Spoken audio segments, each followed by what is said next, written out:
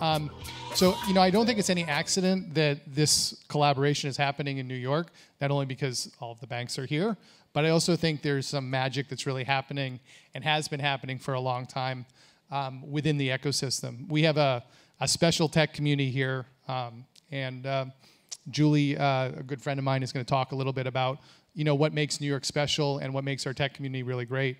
Um, it wasn't always like this in New York. Um, having a vibrant tech sector here in New York has been uh, a slog, and now we're starting to really see validation of what an amazing tech community we have.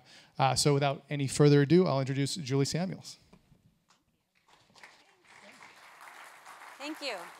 Uh, thank you so much for having me. This is such a great event in such a great New York space. Um, I started and run an organization called Tech NYC. Think I'm gonna move around a little. Is that okay? Also, I'm the only thing keeping you guys from lunch, so I'm gonna be really quick. Um, Tech NYC is a coalition. We're now about 800 companies and investors strong, working to represent the tech ecosystem here to make sure that New York City is the best place to build and grow tech companies. But even more than that, we spend a lot of time thinking about how we can take the tech industry and make sure that it's supporting New York City.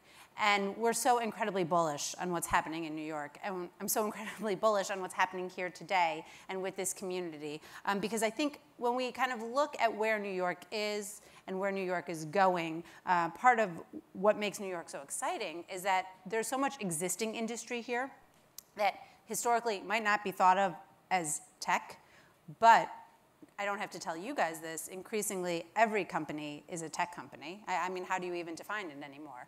Um, everyone needs to hire engineers, right, of some, some kind or another at this point. And so when you think about what a successful firm looks like going forward, it's going to require technical talent, but it's also going to require the skills and the talent that come with whatever sector you're building in, right? And, and we have that all here in New York. Um, we have that obviously with finance, which I'm going to talk about in just a second, but real estate and fashion and media and advertising and you know you name it. So uh, again, I'm incredibly bullish on where the general tech market and ecosystem is going here in New York. When I think about that, though, and I think about kind of you know the, the broader fintech market, um, where finance is in general, that is the model, right? That is the model for how New York can um, foster the development of a true, uh, robust ecosystem. And this is the part and why I'm so excited to be here today and why I'm so excited about the conversations you guys are having today and the work that FINOS is doing in general. And it's that on the one hand, um, the tech sector will come to New York and, and will always be just a part of New York, right? Um, it's not like some other cities where it will be a tech town. You know, it's going to be one of, of many industries here.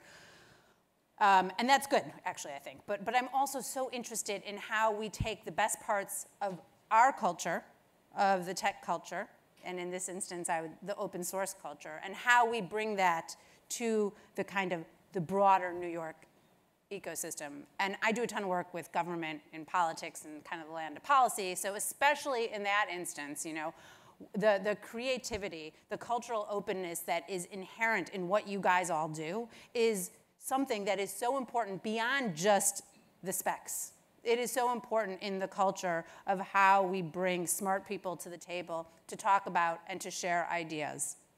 And I so fundamentally believe that. And that is why I'm so excited to be here today. I'm so excited to see all of you having these important conversations right here in New York City.